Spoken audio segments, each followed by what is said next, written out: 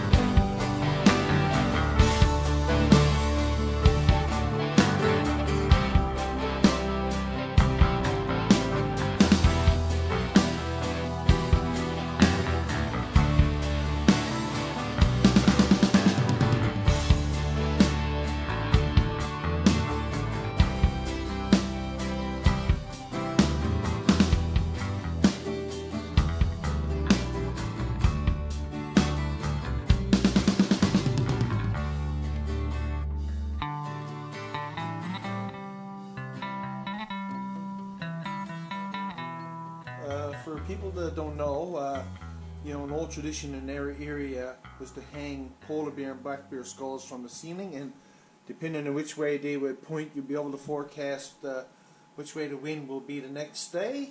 And I actually uh, I actually done a video a few years back on one of the old polar bear skulls that was hung up in uh, my uncle's shed that belonged to our great grandfather. And uh, now I'm happy to say I got a polar bear skull here hung up in my shed. And uh, you know, uh, a lot of the knowledge is lost on how to actually read uh, the polar bear head and different things like that. But uh, but to be able to keep the tradition going, you know, really do mean a lot. In the title, I call this a water bear and uh, I did that because like my grandmother and all a lot of the old people down home, uh, they, they never did call them polar bears. They always referred to them as water bears, and you know that polar bears they spend a lot of time around ice hunting seals and swimming in water, and so so the old people, yeah, they always call them water bears. And since you know this is keeping the old tradition going, I said I'll, I'll call them a water bear here as well. Uh, yeah, it feels really good, you know, to, to have this one hung on the ceiling here to keep the old tradition going.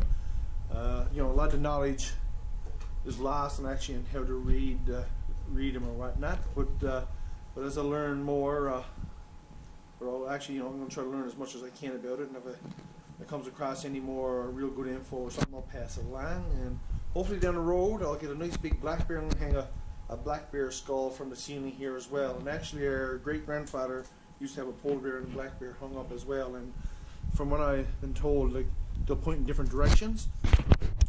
Uh, yeah, so anyway, uh, uh, I guess that's it for this one. But uh, what I'm going to do, uh, the old video that I took of the polar bear skull during my uh, uncle's shed in Williams Harbor, I'm going to add that video to the end of this one. And, uh, you know, I, I, heard stories too of people hanging up link heads in some other places and stuff like that. But, but you know, uh, I guess uh, you know it feels good to keep this tradition going, and who knows, maybe other people will do this as well uh, you know, we're losing a lot of our old, old, old knowledge and traditions and stuff. So uh, you know, we try to save on, save uh, as much as we can. So uh, just, uh, just doing my little part here. yeah. So all right, appreciate y'all watching, and I hope to, to see you all in the next one. Take care. All from the big land.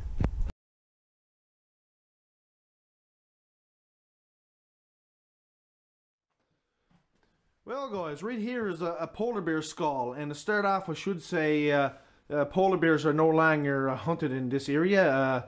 Uh, it was banned quite a few years ago, but uh, this one was harvested by uh, my grandmother's father, Jim Russell, my great grandfather, and he used to have a polar bear, this polar bear skull, and he also used to have a black bear skull hung up, and he used these skulls for predicting the weather. And I thought I'd share this because I never really heard tell of it before, but but the, the way it worked was, uh, you can see the skull's actually, I think, moving a little tiny bit there now. But if, the, if that skull was facing towards the northeast, then the next day you would get the northeast wind. Uh, the polar bear skull always faced the direction that you were going to get the wind. And the, the black bear skull, I was told, worked opposite. Uh, if the bear, black bear skull was pointed to the southwest, then you would get northeast wind. The polar bear faced the wind.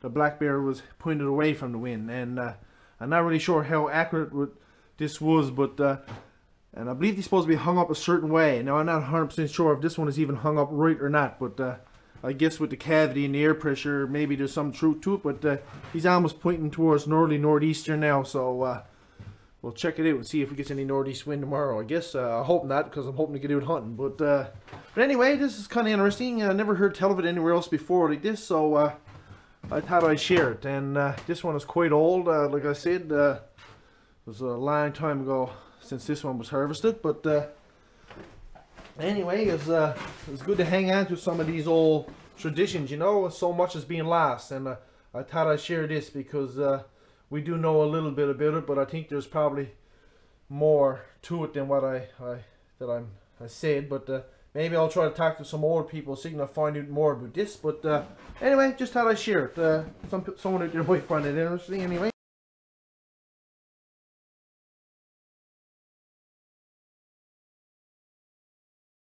What a day, what a day. I'll never forget it. Ready to go here now. I tell you, I got a sweat broke. Yeah, yes sir, wonderful spot. Bears are just coming in off this ice, crossing over this island getting on the ice on the other side and traveling on and you know you're here at the right time and that's that means a lot the timing gotta be right on it yeah tree passed through here yesterday so But I worked out today. You know, uh, I wouldn't mind if it was a bit bigger, but I tell you, I ain't complaining either. So, happy hunter, no doubt. Gonna be a happy family when you get the news too.